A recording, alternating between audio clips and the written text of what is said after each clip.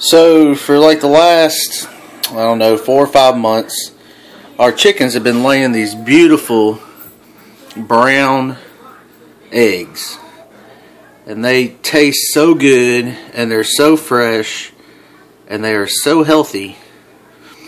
And then we go out today to get the eggs out. You can tell they're normally all about the same size. And there's that monster. Can you believe the size of that egg? You can't really tell, but these eggs are gigantic eggs. These are, I mean, you look at it in the palm of my hand, and I'm an adult man, and that's a big egg. It takes up pretty much the palm of my hand. But when you look at that egg, comparatively, that egg takes up the entire palm of my hand.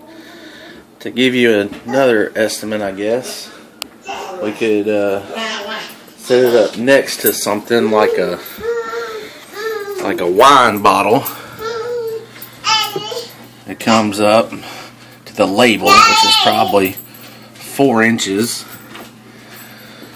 Uh, next to a bottle of seasoning. It's about two times the thickness and almost as big as a bottle of seasoning.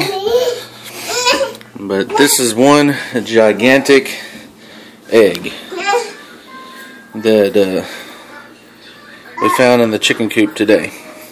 We can't even close the lid on the egg box. That's as far down as it will go. So, anyways, if anybody wants some farm fresh eggs, it might be dinosaur. I'm not quite sure. Let us know.